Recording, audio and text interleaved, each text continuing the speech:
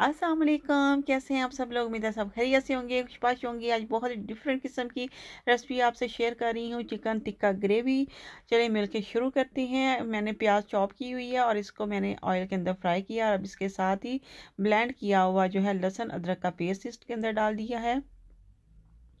और इसको थोड़ी देर के लिए मैंने फ्राई किया था। प्याज को गोल्डन ब्राउन होने तक लहसुन और साथ में अदरक भी डाल दी हुई थी।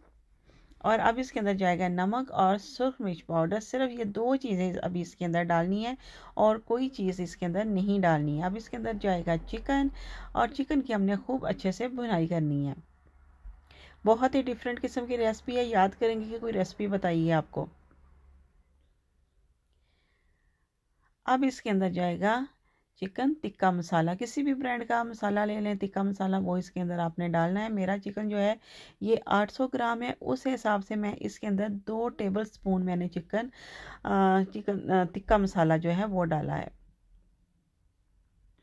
आप अपने चिकन के हिसाब से उस, कम या ज़्यादा कर सकते हैं।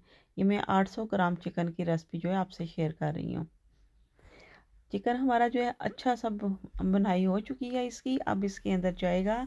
दो बड़े साइज़ के टमाटर हैं, वो मैंने ब्लेंड करके रखे हुए थे, वो अब इसके अंदर डाले हैं और इसका पानी खुश्क होने तक हम इसको पकाएँगे।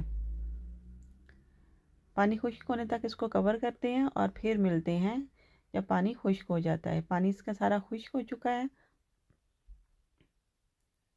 अब इसके अंदर जाएगा योगर्ट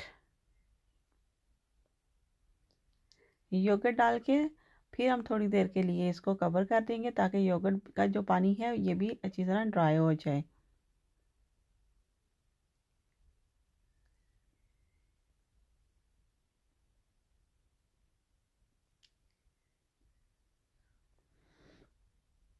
पानी हमारा ये देखिए सारा ड्राई हो चुका है, कितनी खूबसूरत इसकी शक्ल बन गई है। बहुत मज़े की रेसिपी है।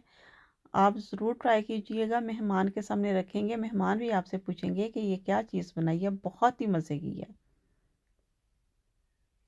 अब इसके अंदर थोड़ा सा पानी डालना है, ज़्यादा नहीं डालना क्योंकि पहले से चिकन हमारा काफ़ी ज़्यादा टेंडर हो चुका है, लेकिन थोड़ा सी इसमें कसर थी तो मैंने इसके अंदर हाफ़ गिलास पानी डाल दिया।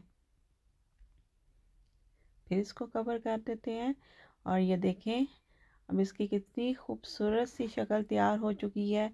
हमारी जो चिकन टिक्का ग्रेवी है, ये बिल्कुल रेडी हो चुकी हुई है। अब इसके अंदर सिर्फ़ मैंने हाफ़ टी स्पून जो है, इसके अंदर गरम मसाला डाला और कोई चीज़ नहीं डाली इसके अंदर।